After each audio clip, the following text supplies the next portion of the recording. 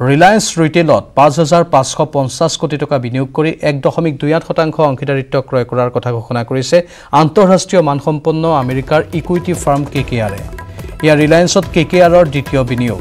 কৰোণাৰ কাৰণে সমগ্ৰ বিশ্বত আৰ্থিক মন্দাৱস্থাই বিকট ৰূপ লোৱাৰ সময়ত এটাৰ পিছত আন এটা বিনিয়োগ লাভ কৰিছে ভাৰতৰ সবাতোকৈ মূল্যৱান সংস্থা ৰিলায়েন্সে এইবাৰ মাৰ্কিন বিনিয়োগকাৰী সংস্থা কে কে আৰ এণ্ড কোম্পানীয়ে পাঁচ বছৰৰ পাঁচ হাজাৰ পাঁচশ পঞ্চাছ কোটি টকা বিনিয়োগ কৰিবলৈ আগবাঢ়িছে ৰিলায়েন্স ৰিটেইলত। ইয়াৰ দ্বাৰা ৰিলায়েন্স ৰিটেইলৰ এক দশমিক দুই আঠ শতাংশ অংশ ক্ৰয় কৰিছে ইকুইটি গোটটোৱে। ৰিলায়েন্স ৰিটেইলত বিনিয়োগৰ মূল্য বাঢ়ি গ'ল চাৰি দশমিক দুই এক দুই এক লাখ কোটি টকা।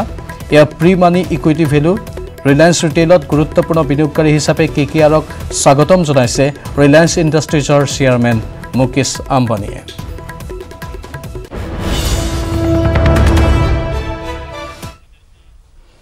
আৰু এয়া আছিল আজিৰ দুপৰৰ শিৰোনাম। নমস্কাৰ।